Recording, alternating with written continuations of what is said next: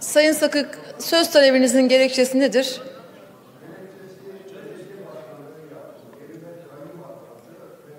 İtham ettiler. Bundan daha büyük bir gerekçe olmaz ve hatta eğer mümkünse iki dakikalık e, kürsüden Sayın Sakık, konuya ilişkin grup başkan vekiliniz üç defa söz alarak gereken yanıtı verdi. O nedenle söz talebinizi karşılamayacağım.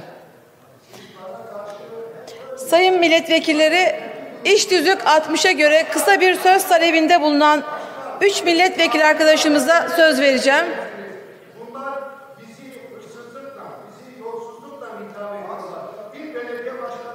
ben çıkıp bu konuda düşüncemi ifade ama kendi grubunuza sonsuza kadar Be Kürtler bemal diyorlar. Efsizsiniz. Ama bize gelince söz talebinizi kabul etmiyorum. Sayın Sakın kabul burada hiçbir siyasi partiye yönelik bir tavrım yoktur. Sayın Grup Başkan Vekiliniz gereken yanıtı vermiştir. Burada grup başkan vekilleri yanıtı verdiği soruları yeniden Sayın Sayın Pala'nın ismi telaffuz Sayın Pala'nın ismi telaffuz edilerek sataşıldığı için iş tüzük uyarınca kendisine söz hakkı vermem gerekirdi verdim.